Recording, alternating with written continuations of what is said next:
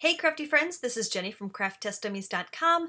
Last week I shared with you an overview of the PixScan cutting mat that you use with these silhouette machines and I promised you a live demo so that you could see exactly how you bring things in and you can select your cutting lines. So I've done a live screen capture and a voiceover, so hopefully you will get a good idea of how to use this product and if you have any questions, you can leave them in the comments section below. So let's take a look.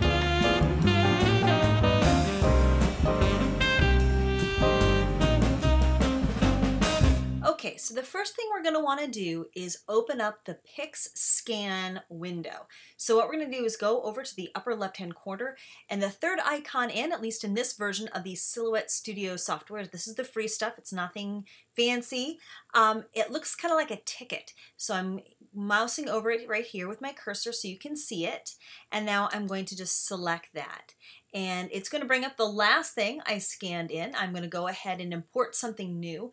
You can also import from your scanner, but for this purpose, I'm going to import from a file. So import something from a mm. file, and what it's going to do is ask you to select something, and I've gone ahead, imported a photo. I actually emailed it to myself, and I've put it on my desktop just so that it's a little easier to find sometimes this is the most frustrating part of my whole process is just trying to find uh, the photo that I'm trying to use. Um, oh, and here it is. So I'm going to select it and it will open. So now what you'll see is that it's loading the image. It's telling me it came from my iPhone. And here it is looking for these black registration marks around the outside. So always make sure that your photo is well lit and that it can see those black lines because otherwise it won't be able to see the image at all. So there we go. So now I've got this Pixie Gal, and this is from um, SCACD. And then I've got this little Chinese lantern. And I just want to show you two different versions. So we're going to start with the lantern. And the first thing I want to do is actually trace it and cut it out. And if you've never done this before, it's it was intimidating to me. I don't know, maybe I'm just crazy, but um, in order to trace it, you have to open up the window that is right here. It looks like a piece of toast with green jam on it. Actually, it's a butterfly, but it looks like green jam toast. And you're going to select the area. Then you're going to get this little cross hatch. And now you can go ahead and push down your left-hand button of your mouse and select the area. So you can also do it on a touchpad, but it's so much easier on a mouse. So here, you know, you can make it bigger or smaller, but this is just the area I want it to look at. And when I depress the, the mouse button, you get this yellow kind of haze over it. So this is telling you how it's reading the image digitally. And this is why you have this high pass filter over here. If you notice, it's at like number five. I can slide it up and it turns all yellow or I can slide it down and it basically goes away.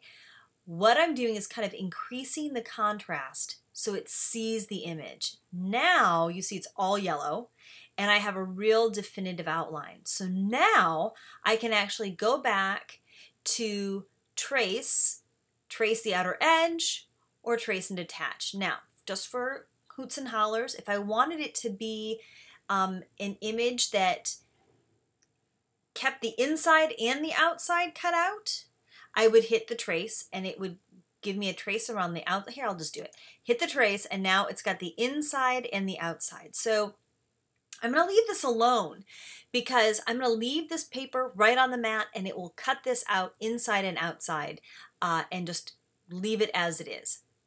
But let's take a look at this lady. I don't want to cut her out as a line. So first let's select the trace area again. Highlight her.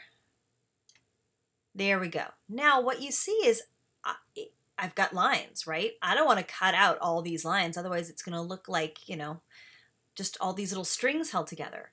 What I want this to do is actually just trace the outer edge. So I'm going to select this option. And now you can barely see, you see this little red line? It's only looking at the outside. It, actually it didn't even, you know, trace the inside of the elbow. I'm just saying, hey, look at the outside for me. And actually, if I select it and move it to the side, you can see exactly what that cut line looks like. Now, first thing is I don't want this. This is just a smudge. So I can come over to the left-hand toolbar, select the eraser tool, and you see here you can have a small round or large round, a small square or a large square. I'm going to go with a small round. And I'm just going to erase this by mousing over it with the uh, button push down. Okay, so now I can have it cut out right along this line. Now, for some people like me, I actually like a little bit of a mat around my image. So what I'm going to do now is actually highlight the image until the little box comes up. And I'm going to come over here to this pentagon with an arrow. This is our offset window. And I can go ahead and click the um, offset and notice how it gives me an inside edge and an outside edge. Now, that's too many edges. I don't want it to cut one, two, three different things. So I have to actually pull it to the side, get rid of this. I'm just select it and delete it, like so.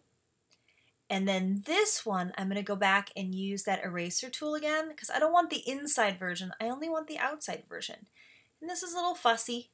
This may be too much for some folks to do. I just have not found a good way of only doing the outside offset without getting the inside as well. So is this a little fussy? Yes. Is this still easier than cutting with my scissors? Absolutely. And what's even better is that now that I have this image, I can either cut her out directly or copy this shape, put it onto another paper, and then just cut out a bunch of them and stamp inside. So what I'm going to do now is select it, bring it back, just eyeball it, and I'm going to go ahead and send this to cut now.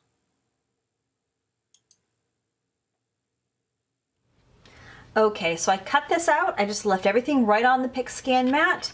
And now the moment of truth where we pull them off and you can see that yes, it cut out my little Chinese lantern and left the inside characters behind. So I'm very pleased with that. And for my pixie girl, it cut it out just nice with a little bit of border around it, which is exactly what I wanted.